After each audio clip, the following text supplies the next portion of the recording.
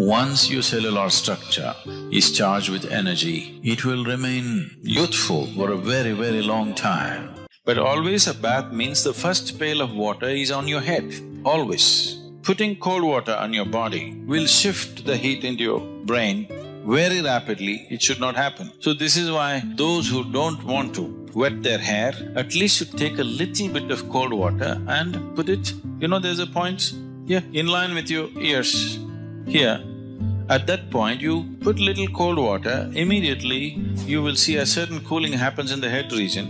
After that, you can have bath with just the body. But otherwise, you always… the first pail of water is over your head, not on your body. So what you do is, you fill the bucket and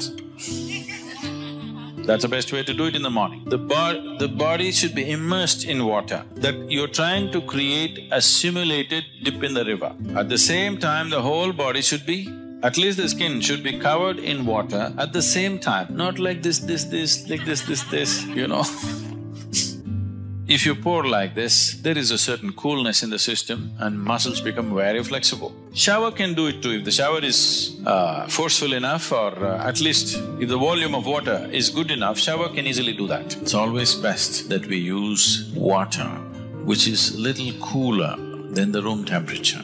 Just a certain volume of water to flow over you or to be immersed in a water which is cooler than room temperature. Because if this happens, one thing that happens on the surface is the cells, the epithelial cells will contract. When they contract, they open up all the pores. The pores between the cells will open up. The cells themselves have pores. We don't want that to open. That will open if you put it in warm water. If you put you… dip your body in a hot water tub, the cells will open up and take in water. That is not always a good thing to do. You put the body in cold water, the cells will contract, the in-between spaces will open and that's important for practicing yoga because we want the cellular structure of the body to be charged with a different dimension of energy. If the cells contracts and allow space and then you practice your yoga, then the cellular structure in the body is charged. Why one person seems to be far more alive than the other is essentially because of this. And once your cellular structure is charged with energy, it will remain youthful for a very, very long time. When people are thinking, why the old bugger is still not dead, you still feeling like you're twenty-five. Hatha Yoga is a way to frustrate the world also. Water which is cooler than the room temperature. In India, it is in South India at least, it's not so much of a problem, the water is always in that temperature, ideal place. But if you're in a colder country, if you're in a temperate climate, the water may be too cold, that is not good. The water must be, let's say, within five to eight degrees centigrade lower than the room temperature, not more than that. So if you have uh, a tendency to catch cold initially, first couple of weeks, you put a spoon of eucalyptus oil in the water, cold water, and pour it over you. You will see your cold will go away, not because of the eucalyptus oil, just because of the cold water. If you have an infection and something else where excess mucus is being generated, that needs to be treated differently. But as I said, the water should be just somewhere five to eight degrees below room temperature, not an excessively cold water, no. If there's any kind of interaction, any kind of mingling and mixing of whatever kind, if you're in a crowd for too long, when you go home, first thing is shower. You must do this. If it takes three, four, five showers in a day, it doesn't matter to shower many times a day. You shouldn't overdo it. But there were times when I used to shower minimum five to seven times a day. Now it's come down to maybe two definitely, sometimes three. Two is a must for you, more is good. Any kind of physical contact happens with somebody, a period of more than let's say six minutes, if you're even holding somebody's hand, before you do yoga, it's best that you have a shower. This is not a cleansing thing. We are not trying to clean the body, that's not the point.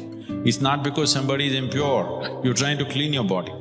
Yoga is a way of organizing your energies into an individual. So if any kind of transaction happen too much, if I come and sit in a program, I'm not even physically touching anybody.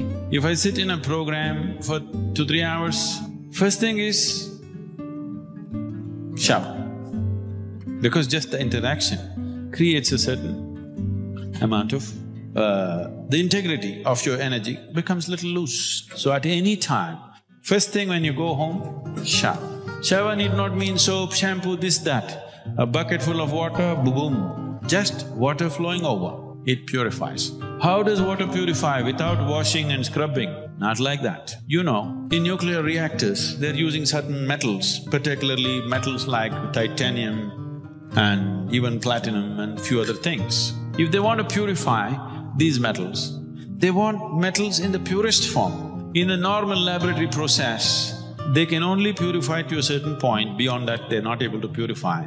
So what they do is, you make a rod of this metal and make another ring. Just move it up and down without touching. Just do this. You will see the metals will get purified. So seventy-two percent of your body is water.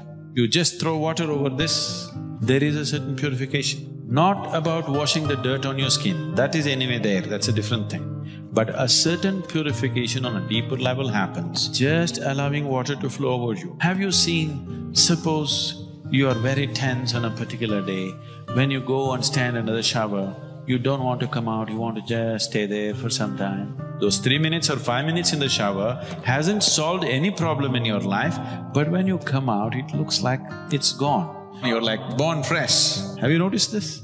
You feel it's all gone because all that's happening is this is largely two-thirds of it is water.